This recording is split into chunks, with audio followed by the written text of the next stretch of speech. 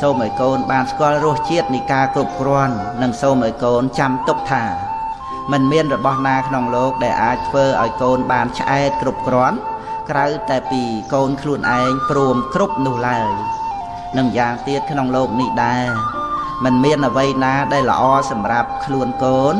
ឲ្យក្រៃលែងជាងកូនជាមនុស្សល្អនោះឡើយសម្បត្តិក្នុងលោកมันអាចគ្រប់มันអាចបញ្ឈប់នៅតណ្ហា មានតែខ្លួនឯងឈប់ត្រូវការ ដោយសារបញ្ញាទៅបានគ្រប់សម្បត្តិក្នុងលោកមិនអាចល្អស្មើនឹងធัวសនាំចាភពធัวពិតកូនឪត្រូវខ្សែគប់ព្រមទាំងគោរពខ្លួនឯងផងកូនមេឪពុកកូនត្រូវយល់ដឹងថាសេចក្តីអត់ធន់ញ៉ាំងនៅផលឲ្យសម្រេចបានគ្រប់យ៉ាង កូនត្រូវអត់ធន់ដូចតទៅ